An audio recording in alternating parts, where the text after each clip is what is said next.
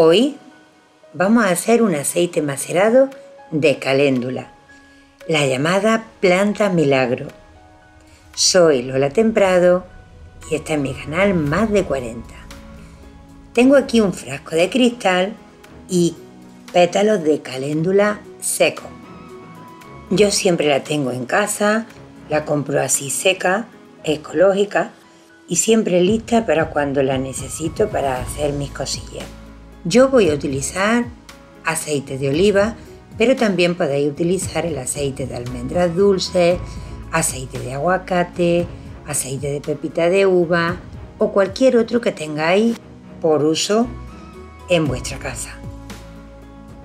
Lo que voy a hacer es tomar la caléndula y meterla en el frasco que quede bien apretada porque vamos a hacer un concentrado lleno de propiedades. Esta caléndula sirve igual para un bebé recién nacido que para un anciano que pueda tener alguna erupción cutánea en la piel. Cubre totalmente de aceite para que no quede nada de caléndula afuera y mientras os cuento para qué sirve esta planta milagro. Es regeneradora y cicatrizante. Potencia la producción de colágeno natural. Regenera la piel herida o dañada. Alivia psoriasis, dermatitis, tanto del pañal como dermatitis atópica. Labios resecos. Es buenísima para aliviar el acné, irritaciones, úlceras varicosas. Es humectante y antiinflamatoria, antibacteriana, emoliente, suavizante tiene tantas, tantas propiedades. La vamos a tener 40 días que le dé el sol y la luz de la luna.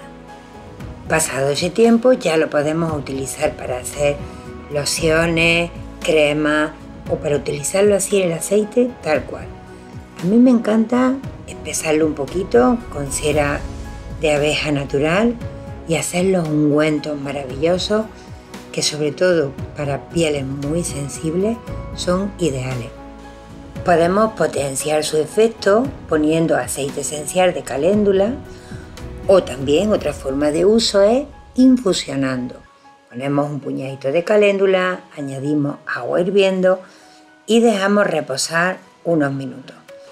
Cuando está tibia podemos poner compresa encima de los ojos para desinflamar. También lo podemos utilizar como tónico o añadirlo al agua del baño y obtener un baño relajante y maravilloso. Bueno, ya sabéis para qué sirve y los usos que le podéis dar. Decidme en un comentario si queréis que os haga una pomada especial para pieles muy delicadas. Y ahora sí, termino pidiendo como siempre que me digáis desde qué país me veis para yo saber el alcance de mis vídeos os pido que lo compartáis para que tenga bastante difusión y llegue a mucha gente. Y os mando muchos besitos, besitos, besitos. Y hasta el próximo vídeo.